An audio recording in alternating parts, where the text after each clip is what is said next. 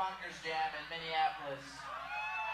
Next time you're in Minneapolis, Sunday, Monday night. Corey Wong on guitar, Michael.